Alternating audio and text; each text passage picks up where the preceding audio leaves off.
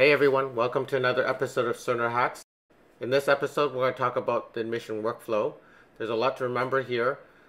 I've organized things to optimize our time while we're seeing the patient. So let me show you how I do it.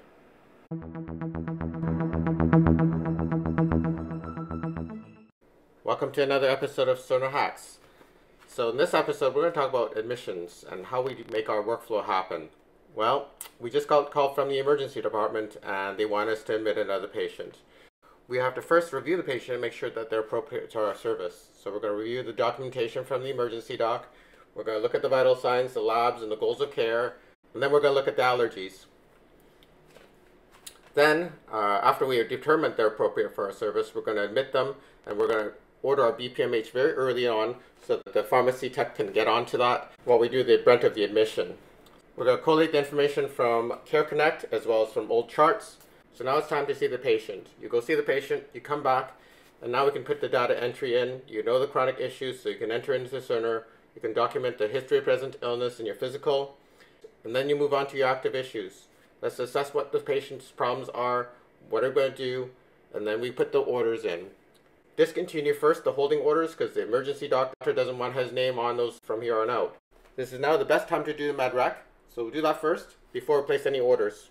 Finally, we're going to do the quick orders or a power plan to put in all patient orders, and then we're going to make sure the order profile is correct. So the first thing we're going to do is review the patient, and that includes the allergies, the documentation from the emergency physician, as well as the labs and vitals and the goals of care. So here we are in the admissions tab, and as you can tell, I've reorganized my light menu in a way that makes it easier to peruse the information that I need. To reorganize the titles, all you have to do is click on the title and drag up and down to where you want them placed. And don't forget to reconcile your allergies, so go up to the blue bar and click on this. We'll mark as reviewed, and we'll go OK. I would suggest not doing the allergy reconciliation from the light menu, as sometimes when you reconcile from here, Cerner doesn't register it properly. So next thing I do is review the advanced care planning and make sure that's appropriate. Then we turn our attention to documents. At the very top is the documents section and this shows the emergency note. I can open it up and review the patient, see what the emergency physician had to say. Next review the vital signs. And in the vital signs section we can see if there's any instability of that patient. Do I need to see the patient right away? Then we can review the labs and see if there's anything important that we need to take a note of. And the active issues, here we can see a chronic issue here already and the patient's admission uh, issue for this visit and chronic. And here we can review the current medications. So as you can tell here, the medication reconciliation has been done or the BPMH. So all we need to do now is enter admission orders. Now that we've determined we're going to be admitting this patient, we'll have to put the admission order and the BPMH needs to be done. Hopefully the BPMH can be done by the hospital pharmacy technician that's working at your hospital. We're requesting the BPMH to be done early in this process so that it can be done by the time we're ready to do the admission med rec. Okay, so here we are in a quick orders page. We're going to admit the patient and perform a BPMH. Um, you can see this is a customized order screen and we're going to teach you how to do that in another video. So we're going to sign this off and we're ready for the next step. Okay, now that we've admitted this patient, you can see that this patient is now inpatient as an encounter type. We've changed it to the attending as us. My next step is to start putting in the chronic medical issues. So we can go to active issues here, and this is where I like to document the chronic problems. So let's say this patient has diabetes and has a history of dyslipidemia. Okay, so that's how we would start populating the chronic lists we would get this information obviously from any paper charts. If you're lucky enough, you may have a link here. Uh, at our hospital, we have something called Care Connect. This will bring us into the Care Connect environment where we can pull in the previous electronic medical record. We're currently in the Cerner test environment, so it shows an error here, but in the real Cerner environment, you'll be able to navigate Care Connect. Once you go into documents, you can start copying and pasting into your documents. So here we can tear off this screen to leave the Care Connect environment on this side.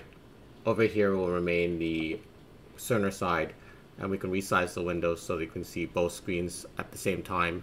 Here we go back to the home menu and that'll bring us back to the admission tab. If you still want to see that third column, you just have to resize this window from 100% down to 50%, and that should bring back the third column as you can see here. So what I want to do here is copy the past medical history list from previous documents. I can paste it into the, say, the physical exam section here. So what we're actually doing is using the physical exam section as a temporary work area. Once I've done that, I'll re-expand this screen.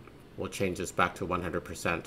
So what we'll have here is our copied past medical history from Care Connect. We'll use that as our reference guide to typing in our chronic problems here. Once we're done with the temporary area in our physical exam, we'll delete that. You can also type in the chronic problems directly from the split screen in Care Connect, but I think at 50% magnification it'll be really difficult to see what you're actually typing in.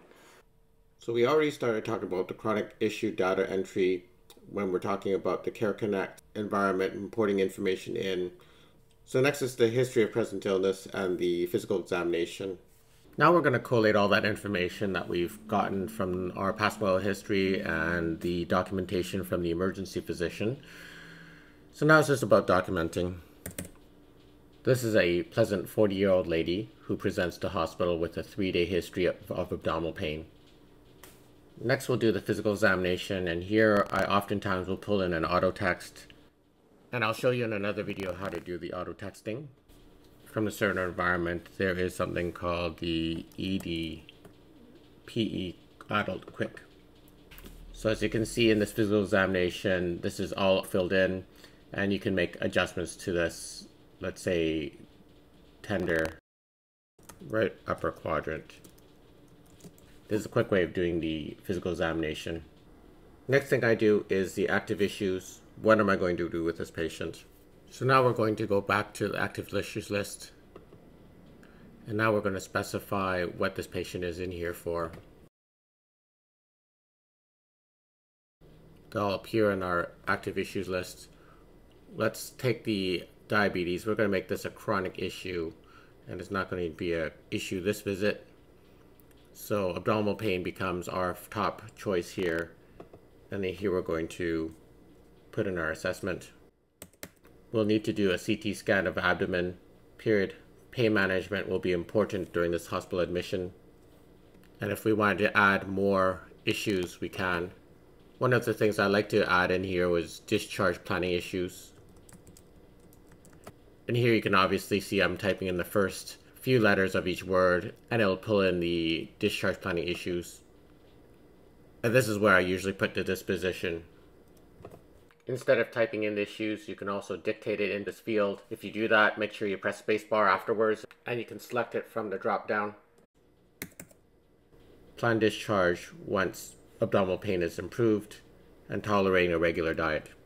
Hopefully in your hospital you'll have a front-end speech recognition type software that can be used.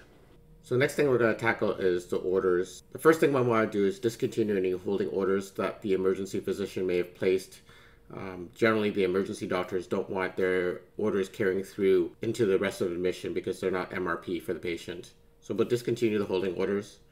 Then, to make our job a little bit easier, I'd recommend getting the admission med rec done. If you don't do this and you do all your orders and then do the admission med rec, you're going to have to reconcile all your new medications as well as the patient's previous medications that becomes quite a handful. So I'd do this before you put any regular orders in. And here we can see the initiated holding orders. We're going to right click on that and discontinue this. These are things that's going to be discontinued. So go OK. And we'll sign them off. So now the next thing we're going to be doing is the admission medrec. And we'll click into the admissions.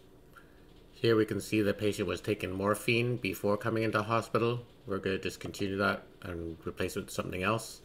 We're going to continue ranitidine. We'll sign off on that. So now you can see that the admission medrec is now completed. Now it's time to put in your own orders for this patient.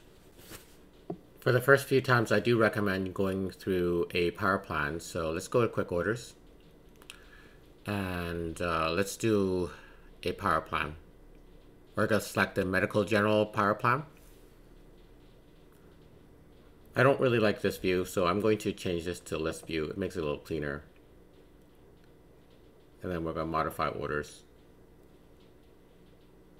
Going through a power plan every admission is a bit daunting, so there's a couple things we can do. We can either save it as a favorite after we're done with this modification, or the other way we can do it is do individual orders, and I've got a customized quick order screen that I'll show you a little bit later in this video. I recommend doing this for first few times anyways, just to get a practice of how power plans work.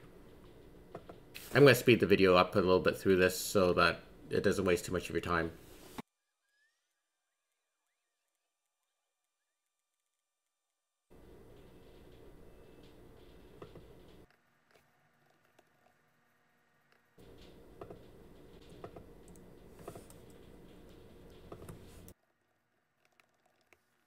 Now we have to do the VTE prophylaxis module.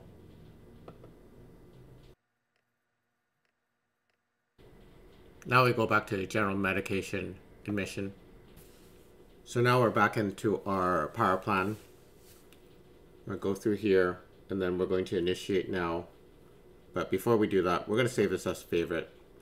In case if there's any updates, we have to leave that alone and then the Cerner system will notify us or flag us if there's any changes to any of the routine orders here. I'm just to put my initials here and we're to go OK. And then we're going to initiate. And then orders for signature. And then we're going to sign off on it.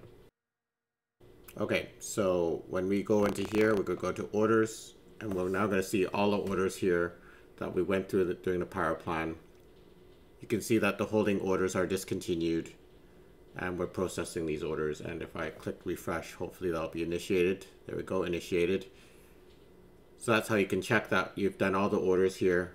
Um, we also mentioned we're going to do a CT scan so we're going to add that and we're going to see CT abdomen with and out without contrast.